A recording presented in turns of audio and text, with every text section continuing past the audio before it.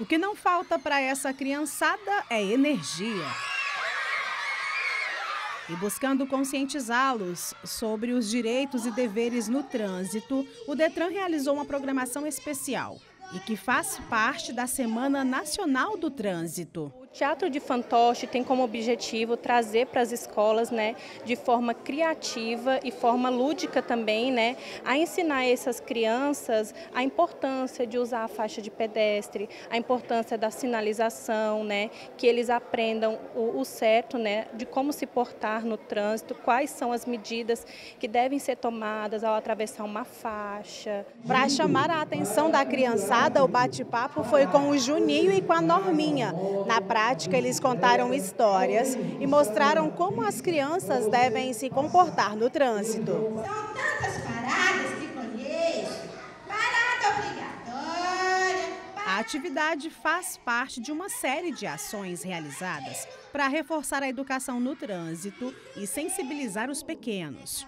Os alunos escolhidos para participar dessa ação foram da Escola Municipal Carlos Drummond de Andrade, localizada na região norte da capital Palmas. Segundo a supervisora, a temática trânsito é trabalhada ao longo de todo o ano na escola. É extremamente importante. Essa parceria é essencial no trabalho da escola. Porque nós trabalhamos o tema trânsito durante todo o ano, é um tema transversal que é trabalhado na escola durante o ano inteiro. Porém, nesse mês de setembro, como nós temos a Semana do Trânsito, de 18 a 25, a gente trabalha ainda mais, né, assim, intensifica ainda mais esse trabalho na escola com as crianças. E para crianças dessa faixa etária, às vezes só a fala do professor em sala de aula não é suficiente para gravar o conteúdo. É melhor que se tem um teatro, se tem uma, uma atividade diferenciada, é melhor para eles gravarem né, o conteúdo. Então eu acho que é essencial essa parceria. O trabalho de conscientização no trânsito busca evitar casos como o que aconteceu em São Miguel do Tocantins na última semana. Uma criança de 9 anos morreu após tentar atravessar a rodovia TO 201. A menina, que estava dentro de um carro, teria ouvido a voz do pai do outro lado da pista e saiu do veículo. Nesse momento, ela foi atropelada. A criança não resistiu e morreu no Hospital Municipal de São Miguel.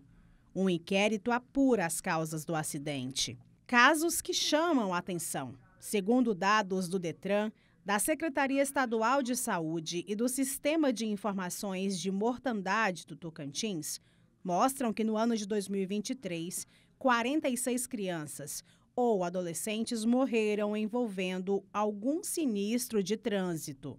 E de janeiro a agosto deste ano, já foram 23 mortes pelo mesmo motivo. A expectativa é que essas crianças orientadas hoje sejam pedestres, ciclistas, motociclistas e motoristas mais conscientes amanhã.